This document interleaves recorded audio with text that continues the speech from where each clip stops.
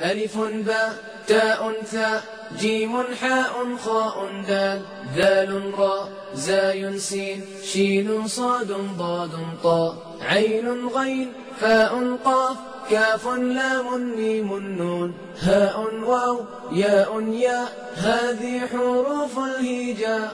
ألف أرنب يجري يلعب يأكل جزرا كي لا يتعب باء بطة نطت نطة وقعت ضحكت منها القطة ألف أرنب Kegiatan usaha saya di bidang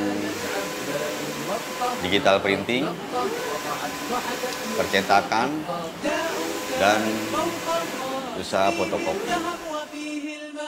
وفيه الماس تاء ثعلب صاد دجاجة وماكر وقت الحاجة تاء تاج فوق الراس فيه الذهب وفيه الماس تاء ثعلب صاد دجاجة وماكر وقت الحاجة Awal mula usaha ini مثل سفينة فوق الماء awal-awalnya eh, sebenarnya sih sudah direncanakan dari awal sebelum usaha ini didirikan. Namun sebelum itu jauh sebelum menjalankan usaha ini waktu itu saya eh, belajar atau istilahnya nyari ilmu dulu lah gitu. Waktu itu saya belajar di eh, CV Pandawa di Jalan Margonda dari tahun 1999 tepatnya itu kalau nggak salah bulan September tahun 1999 sampai tahun 2003 akhir من عرف الدين فهو صدوق وهو أمين زاي زهرة أصفر أحمر kita berdiri di sini bukan saya aja ya. Kita ini usaha termasuk usaha keluarga. Jadi kalau bisa dibilang itu kita keluarga besar ya. tapi intinya itu adalah kakak saya Bapak Dita Supriyadi.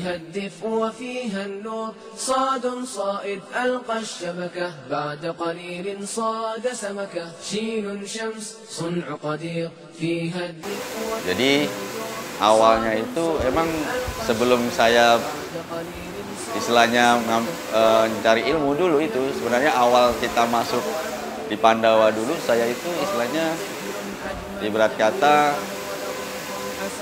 kamu belajar dulu deh gitu. nanti suatu saat kita buka usaha sendiri. Nah kebetulan timing yang pasnya itu sekitar tahun 2003 ضاء ظفر نظفناه طال قليلا فقصصناه عين عينا تخشى الله تشهد خيرا فيه atas inisiasi dia dengan berbekal modal ya ya nggak nggak nggak banyak lah waktu itu masih usaha fotokopi belum ada percetakan belum ada digital printing jadi harus hanya eh, kita membuka usaha itu di fotokopi.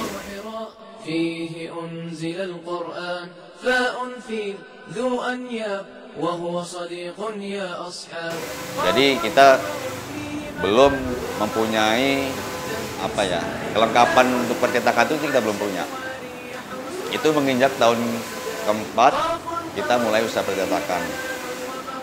Di usaha percetakan mulai aktif benar-benar kita full nih itu sekitar tahun 2006. Sekitar tahun 2006 eh, kita udah mempunyai tempat atau kita udah beli tempat lagi posisinya di Jalan Insinyur Juanda Margonda Depok. Nah, di Jalan Juanda itu itu khusus untuk eh, percetakan. Jadi tidak ada hubungannya dengan fotokopi ataupun digital printing. Dia memang khusus untuk pengerjaan eh, percetakan atau bisa dibilang offsetnya lah gitu kan. Sampai hari ini usaha itu masih terus berjalan.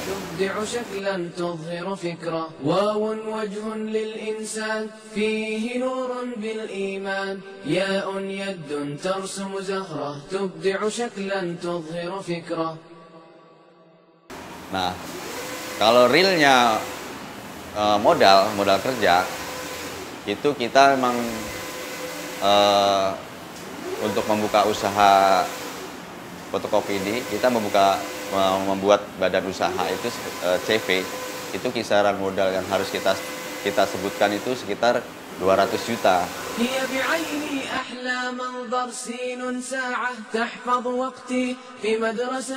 Jadi kalau kita ini usaha ini ya, usaha kita ini kan emang benar-benar dari nol.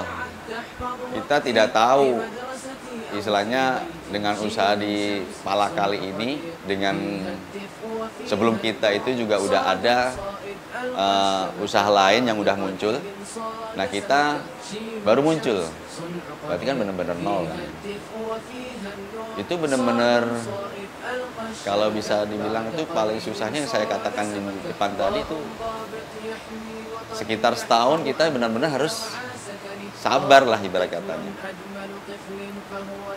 Saya mempunyai karyawan waktu itu sekitar lima orang. Nah itu bekas teman-teman saya waktu saya keluar dari Pandawa. Nah awal kita mau merintis usaha ini, saya bilang ke mereka, kita emang dari nol ya. Saya belum bisa ngasih apa-apa gitu loh. Kayak gaji, kayak ya pokoknya kesejahteraan karyawan itu kita belum bisa memperhatikan. Jadi kita itu benar-benar kalau bisa dibilang fight fight bener gitu loh. Jadi kita eh, ikhlas lihat talang usaha kita memajukan usaha ini tanpa beban apa pun. Namun saya juga nggak bisa berpikir begitu.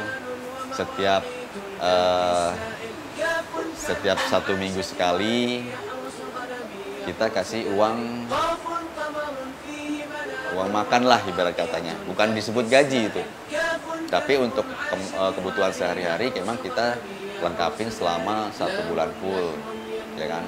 Karena tinggal tidur, makan, dia ada di toko. Nah, itu satu tahun pertama itu.